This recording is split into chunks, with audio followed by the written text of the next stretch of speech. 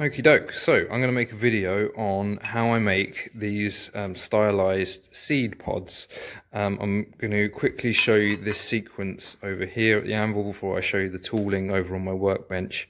Um, so basically these things start off as 30mm um, round bar and the indentations in them are done individually. Um, so I need um, nine pieces that are like this um, there's nine um, items required like that in the gate that I'm making. And basically these indentations are done individually. Then it's not like stamping all three uh, indentations in one go. So it's a case of feeding the bar progressively through the tool. Um, bum, bum, bum. So yeah, um, starting out like 30 mil round, indenting one after the other, then using a, a tool to isolate this mass at the end and then uh, forging it out into round bar because ultimately ultimately these are going to be welded onto 16 mil round bar. Um, whilst I'm over here I'll just show you the tongs that I'm going to be using in the process. These are some tongs I made for holding 30 mil round. Um, Uh, these ones are just for getting the stuff in and out of the gas fire. And then these ones here um, I actually made to hold um, 16 mil round and 16 mil square. Um, but they by great fluke work really nicely. So this is going to be a little bit clumsy now because I'm trying to look at what I'm doing in real life whilst also looking at the camera. Um, so they very nicely hold on to that. So I'm I had a nice fluke there. Okay so I'm going to pause this whilst I wander over to the table and show you the tooling um, that I use to make these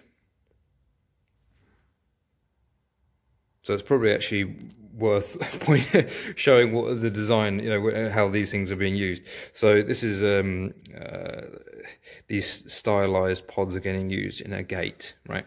So as I say, these indentations are done individually, and the, the tool that I use for that, these are uh, these three tools in this sequence all get used in the, in the power hammer, and I'll explain in a mo like how that works.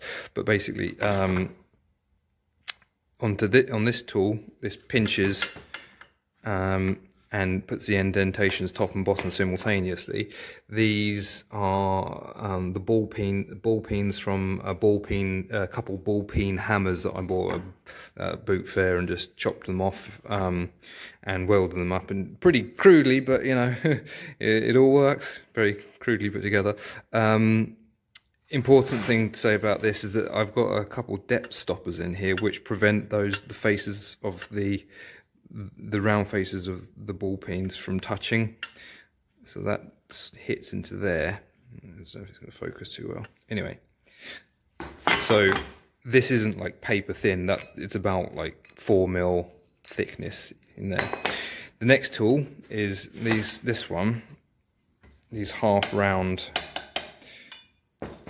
what that does is I nip in around this area and that allows me to isolate that mass. And also by nipping in using this tool what it means is that I don't end up with like a hard shoulder. I've got this sort of soft I can, I'm probably actually going to radius this a smidge more but I, it runs up into it. It's not like a hard edge.